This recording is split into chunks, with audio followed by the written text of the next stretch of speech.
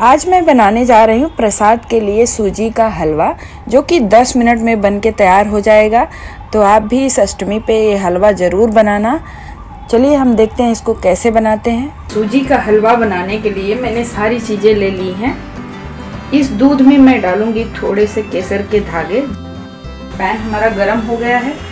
अब इसमें हमने जो घी लिया था, ये मैं डाल दूँगी।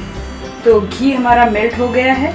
अब सबसे पहले इसमें मैं भून लूँगी ये जो हमने ड्राई फ्रूट रखा था। तो ये देखिए, इसका कलर चेंज होने लगा काजू का। अभी इसको हम निकाल लेते हैं, बहुत ज़्यादा हमें नहीं इसको भूनना है।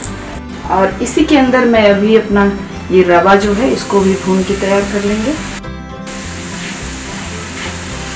गैस का फ्लेम हमने लो कर दिया है। अब इसका कलर चेंज होने तक हम अच्छे से भून लेंगे। तो ये देखिए, दो मिनट ही हुए हैं। हमारे रवा का कलर ये देखिए चेंज हो गया। अब इसके अंदर मैं डाल दूँगी चीनी तो जब सारी चीज़ें आप मिक्स कर रहे हैं तो गैस का फ्लेम लो ही रखें।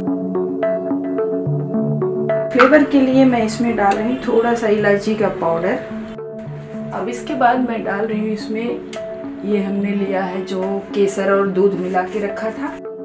तीन कटोरी इसमें पानी डालना है। अब अच्छे से हमें इसको मिलाना है और पानी को सुखाना है।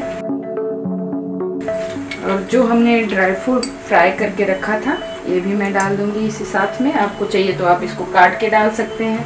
तो ये देखिए, बिल्कुल परफेक्ट हलवा हमारा बन के तैयार है। गैस को हम ऑफ़ कर देते हैं अभी। तो देखा आपने, ये हलवा कैसे 10 मिनट में बन के तैयार हो गया। वीडियो पसंद आया हो तो लाइक, शेयर और सब्सक्राइब ज़रूर करना। और ट्राई ज़रूर करना अष्टमी के दिन। तो चलिए, मिलते हैं आपको एक न्यू रेसिपी के साथ। तब तक के लिए बाय बाय